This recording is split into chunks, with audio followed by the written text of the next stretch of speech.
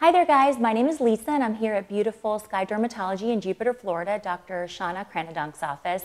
And I'm pretty excited to be here today as I'm going to be sharing with you a non-invasive procedure called Ultherapy to help halt or at least slow down the aging process. If you're anything like me, you're dealing with a busy career and children and all the stresses that life brings and we just don't have time to have any downtime when it comes to you know, the procedures that we can utilize in order to slow down the aging process and continue to try to look young. So I'm pretty excited today. Um, you're going to get an up close and personal look at me getting the procedure.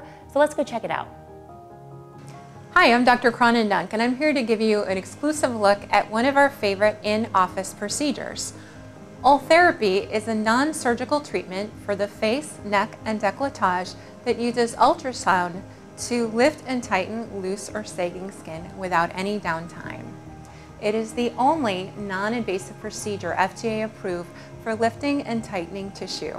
The benefits of Ultherapy, non-surgical and no downtime.